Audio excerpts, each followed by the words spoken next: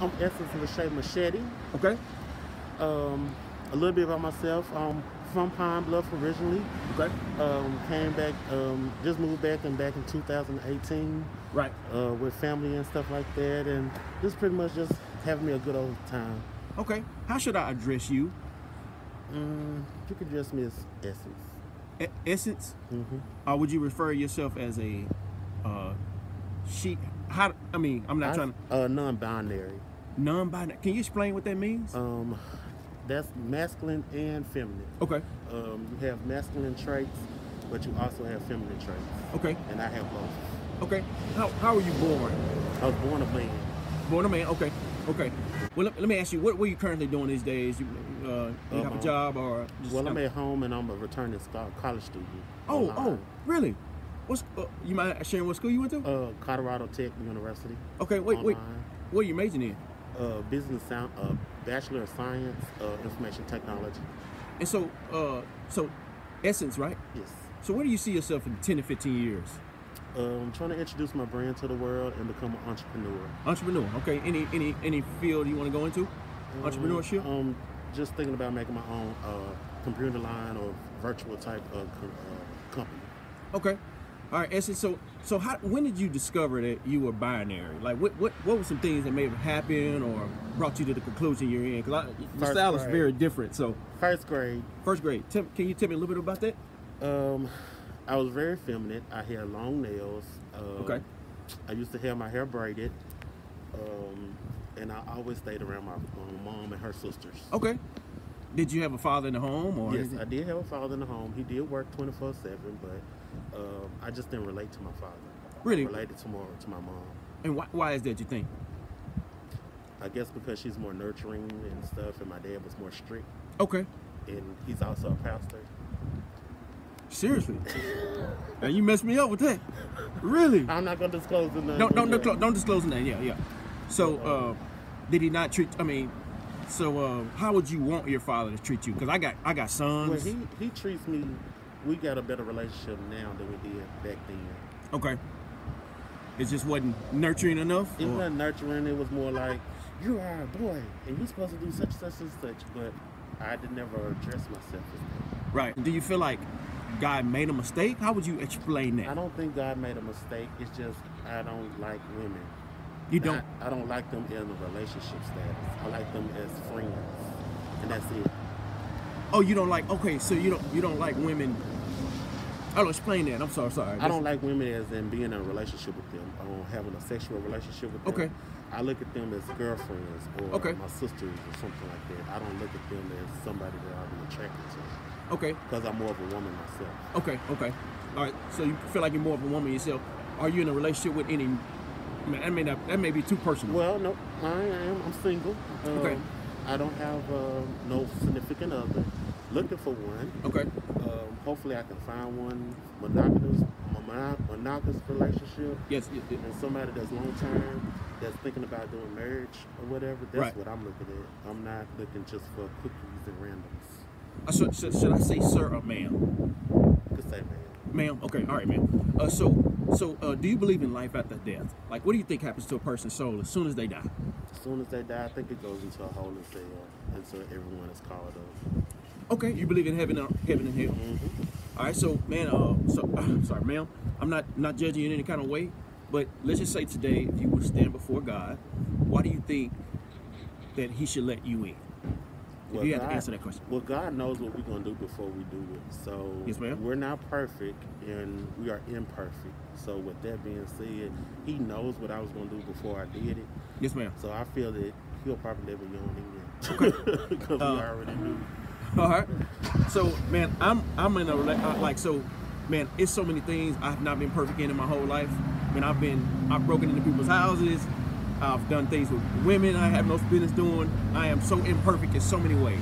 So this is not a judgment at all. But have you ever had the good person test to determine where you're going to spend eternity? Because on the day of judgment, God is going to judge you based on some type of standard Yeah. right? And so, have you ever had the standard placed next to you to see where you're gonna fare out? Yes, I have. All right. So let me give you the good person test really quick. Just I'm gonna take four of the commandments, and then I'm gonna give you some good news, and I'll leave you alone. All right. So, question number one: uh, how many lies, Essence, do you think you've told in your whole lifetime combined? I know I can't keep up with mine. A lot. A lot of? All right. So have you ever stolen anything, even if it's really small? Yes. All right. Je- Jesus says if you look to lust, like after a man or a woman, I don't know if you ever read this before. He says you already committed a, Adultery. adultery in your heart. Oh yeah, you got Yeah. that. So have you ever looked at someone with lust, man or woman? Mhm. All right. Uh, have you ever used God's name to express anger? I have before right. and had to come back and retract my statement. Okay, that's good. So, so you're just like I am. So I'm not judging you any kind of way, but you just told me that you're a liar, a thief, adulterer, and a blasphemer, Mhm. and we all got to face God on the day of judgment. Exactly. So, essence, if you were to face God tonight, God forbid this has happened. I hope you live to be 200 years old. But if you face God tonight, on the day of judgment, do you think you'll be innocent or guilty? Tell me what you think about that. I think I'll be innocent because right. as long as I repent my sins, then I still got eternity with Him. All right.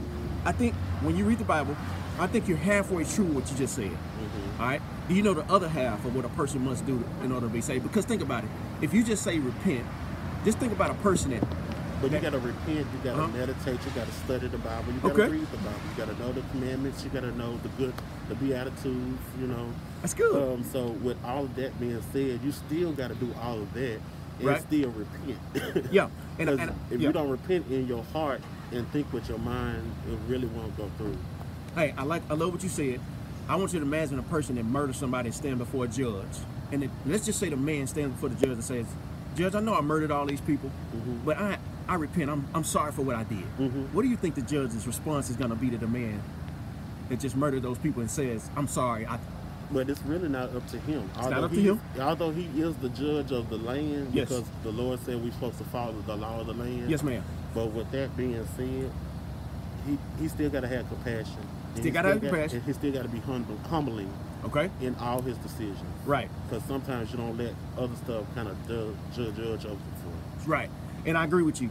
But the judge, if he's a good judge, he has to punish the man, even if he says, I'm sorry. Yeah. Does that he make still, sense? He still have to punish him. He still got to give him some type of sentencing. Absolutely. Right? So I want you to think about that when it comes to God.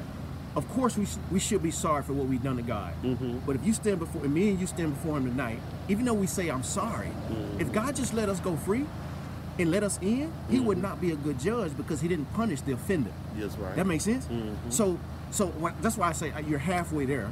Mhm. It's another. It's, it's another thing that must comes with your your repentance. Mhm. And let me just tell you what it is in a quick nutshell. Okay. So right now, the, the moral law, we we've all broken the moral law. We've, we've committed crimes against God that we we deserve to be punished. And the Bible says the punishment for sin is hell, Mhm. because God is a good judge. He Mhm. can't let men go un, unpunished. Yeah. But the good news is that if you, the Bible says to repent, and you will believe that Jesus paid the price for your sin. Mhm. So it's a, a repentance and a turning away from sin and putting your trust in the Savior.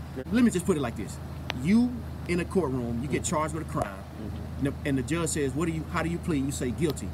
It's like a man that gets up in a courtroom and he says he pays your fine because he's paid the fine. The judge can legally let you go free. Mm-hmm. Well, the Bible says God sends Jesus in our world. We mm-hmm. broke the law. The Bible says Jesus came and paid the fine. Right. So if you will return, repent, and turn to Jesus in a relationship, and since the Bible says God will forgive the debt and release your sin, and He can grant you to a place in heaven because of what Jesus did.